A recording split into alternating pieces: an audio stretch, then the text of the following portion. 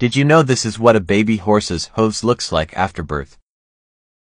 People usually refer to them as fairy fingers or golden slippers.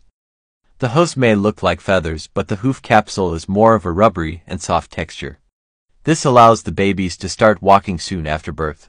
You will find that within 24 to 48 hours the fairy fingers would fall off or wear away and begin to look like normal hooves.